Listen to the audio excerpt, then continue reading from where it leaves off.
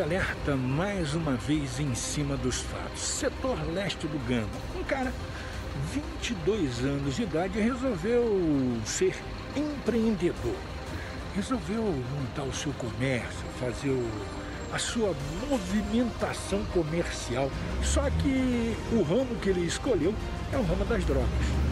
E para deschavar essa situação, ele montou na casa dele uma estrutura, inclusive com delivery, entregas em domicílio, inicialmente de comidas, mas que na verdade era só uma fachada para a entrega das drogas, a entrega dos entorpecentes, maconha, skunk e também crack.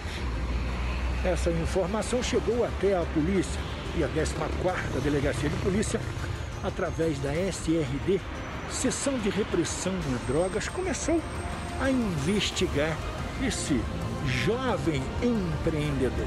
A Polícia Civil do Distrito Federal prendeu na tarde de ontem um indivíduo de 22 anos por tráfico de drogas na região leste do Gama. Essa prisão aconteceu no curso da operação denominada Bancarrota. É, a investigação teve início há cinco meses, sendo que o alvo é, para se furtar da ação policial é, se fazia passar por empresária do ramo de alimentos aqui na região do Gama. Nesta terça-feira, os policiais civis aqui da 14ª Delegacia de Polícia desencadearam a Operação Bancarrota, justamente visando coibir o tráfico de drogas e quebrar a banca. Bancarrota seria quebrar a banca desse traficante que estava fazendo uma movimentação aqui no setor leste do Gama. Inclusive, da casa em que ele estava comercializando as drogas, ele teria colocado nas, na cerca uma corrente elétrica, um método aí, que caso os seus oponentes ou qualquer pessoa que tentasse entrar nessa casa levasse um choque muito grande, correndo o risco, inclusive, de ser eletrocutado.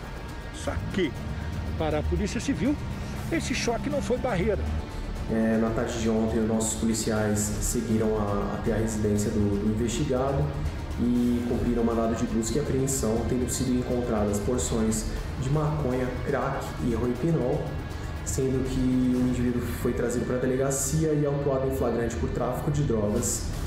E, e, caso seja condenado, estará sujeito a uma pena que varia de 5 a 15 anos de reclusão. Quando os policiais da 14ª chegaram no endereço, encontraram maconha, crack e cocaína. Com essa materialidade toda, agora ele vai se explicar para a justiça. DF Alerta, notícia na velocidade certa.